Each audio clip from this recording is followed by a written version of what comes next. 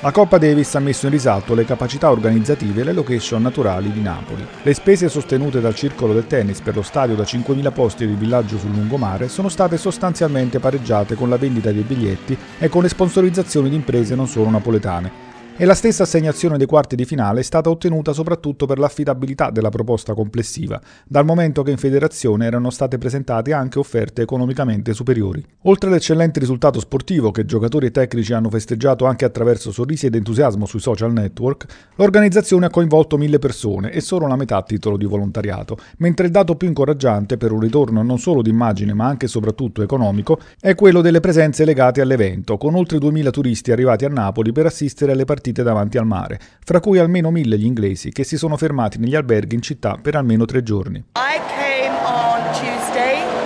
and go back next Tuesday.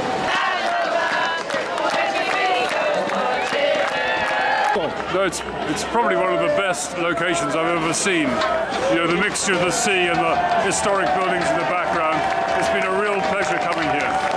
Le stime per il giro d'affari prodotto dall'evento superano i 7 milioni di euro grazie alla sinergia fra privato e pubblico, il primo con investimento ed il secondo con location ed ordine pubblico, un binomio che preannuncia per i prossimi mesi altre iniziative di respiro internazionale, mentre già negli stessi giorni della Davis si è svolta la fiera Chocoland La Terra dei Golosi, con un ulteriore afflusso di migliaia di persone, e si prepara una tappa del circuito velico internazionale Audi Sailing Series classe Majors 20. E TripAdvisor quest'anno mette Napoli con Sorrento e Positano nella top 10 delle città più amate, mentre la Campania risulta la regione italiana più presente, un riconoscimento che viene assegnato alle mete più apprezzate, basandosi su milioni di punteggi e recensioni dei viaggiatori internazionali.